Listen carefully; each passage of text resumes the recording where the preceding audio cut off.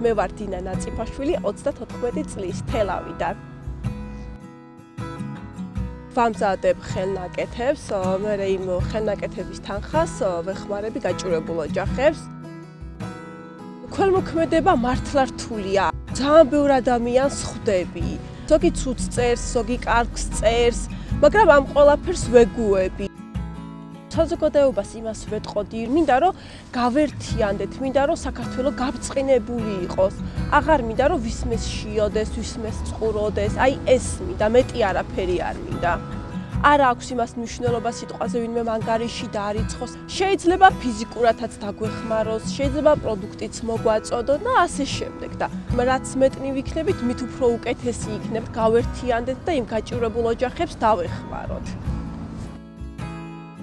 ოცნებად მაქვს, რომ მოხუცთა თავშესაფარი გავხსნა. ეს არის ჩემი ოცნება, იმიტომ ძალიან ბევრი გამიგია, რომ არ აქცევენ ისეთ ყურადღებას, როგორც საჭიროა და ესე რჩებია და მინდა რომ მართლა მოხუცთა თავშესაფარი გავხსნა და მათ მიუხედო დიდი სიყვარულით.